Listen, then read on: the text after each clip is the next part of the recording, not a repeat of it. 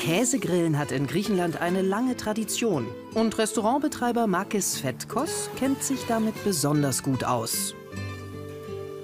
Ich esse mein Leben gern Halloumi, aber ich esse auch für mein Leben gern Käse. Alles, was riecht und stinkt und in diese Richtung geht, mag ich einfach.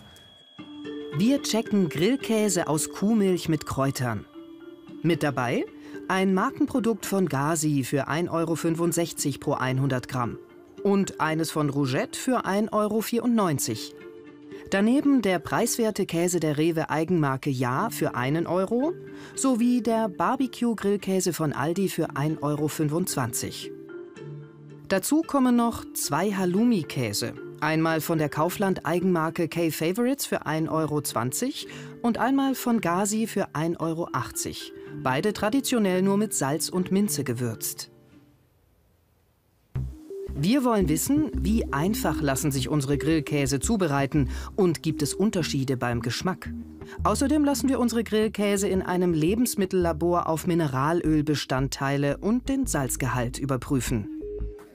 Bei unserer Blindverkostung mit dabei Maike Jaschok, Milchhandwerkerin und Molkereimeisterin. Ich bin total gespannt, viele verschiedene Grillkäse mal zu probieren. Und Salvatore Marazzo, Koch und Gastronom. Er hofft auf ha, schöne kulinarische Momente und, und tolle Geschmackserlebnisse. Los geht's mit dem Kräutergrillkäse von Aldi. Er soll in seiner Aluschale zubereitet werden. Und der Käse ist fertig. Hier richtig cremig, ne? Und der knusprig. Es ist fast wie ein Frischkäse, finde ich. Das kann ein Backofenkäse sein, aber Grillkäse, ich denke, da sind wir am Thema vorbei.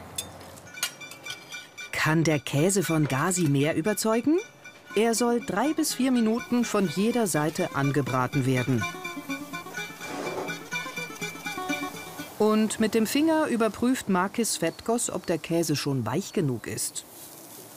Dann hat ein Grillkäse alles richtig gemacht, was er machen soll. Er soll nichts erlaufen. Wenn er nachher noch schmeckt, dann ist alles perfekt. So. Signora, Signore, Kyrios, Kyrie. Also außen knusprig und innen einfach weich und äh, quietscht sehr stark beim Kauen. Für mein Verständnis von Käse ist er schon sehr salzig. Also der ist schon salziger wie ein Feta. Er ist sehr salzig.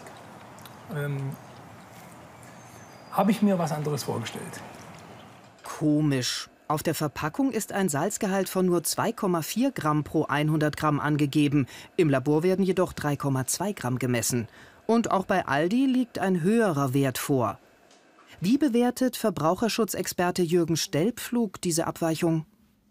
Wenn Verbraucher auf die Deklaration achten, dann achten die darauf, dass sie möglichst wenig Salz zu sich nehmen. Und dann ist es natürlich vollkommen inakzeptabel, dass sie dann viel, viel mehr Salz, als sie eigentlich haben wollen, über so einen Grillkäse aufnehmen. Wir fragen die Hersteller dazu an. Aldi erwidert, Käse ist ein Naturprodukt und es gilt, dass der angegebene Salzwert ein Richtwert ist. Der Gazi-Hersteller lässt uns wissen, wir können uns diesen Vorfall nur so erklären, dass es sich bei dem extern geprüften Käse um ein Randstück gehandelt hat. Zurück zur Verkostung. Jetzt ist der Rougette-Grillkäse dran. Er soll auch in der Aluschale zubereitet werden. Ich hätte diesen Käse nicht auf dem Grill gemacht, sondern im Backofen. Ich denke mal, dass der im Backofen besser gelingt. Ich auch völlig anders aus. Komplett, komplett anders. Ja. Mhm. Danke. Mhm. Es hat ein bisschen Aroma, also es ist nicht typisch für einen Grillkäse. Die Säure gefällt mir. Mhm. Salz ist nicht dominant. Ja. ja. Und von dem Geschmack her, bei einem Grillabend würde mir das sehr zusagen, auch so. Jetzt zum Käseprodukt der Rewe Eigenmarke Ja.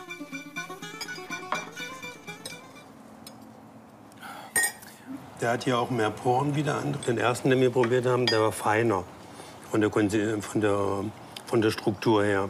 Ich finde es gar nicht schlimm. Es ist eigentlich ein bisschen eine größere Oberfläche sogar durch die Poren, wo mehr Knusprigkeit entstehen kann. Vielleicht ist er auch einfach länger eingelegt gewesen. Das könnte auch sein. Im Labor liegen inzwischen die Ergebnisse vor, was mögliche Mineralölrückstände betrifft. Alle Käse liegen zwar unterhalb des Orientierungswertes für Mosch und Moa, aber zwei Produkte waren auffällig. Die beiden am höchsten belasteten Produkte stammen aus der gleichen Käserei. Deswegen gehe ich davon aus, dass sie im Produktionsprozess verunreinigt wurden, dass also Schmieröle beispielsweise von Förderbändern da drauf sind. Wir konfrontieren die Unternehmen mit dieser Aussage. Rougette antwortet, Moschgehalte in Käse stammen aus dem Einsatz von Milch als Ausgangsprodukt. Im Verarbeitungsprozess werden diese Substanzen in der Fettphase angereichert. Aldi argumentiert in die gleiche Richtung. Bei der Verkostung sind nun die Halloumi-Käse an der Reihe. Seit 2021 darf echter Halloumi-Käse nur noch in Zypern hergestellt werden. Er ist ein halbfester Käse, der meist aus Kuh-, Schafs- und Ziegenmilch hergestellt wird und trägt das EU-Siegel geschützte Ursprungsbezeichnung.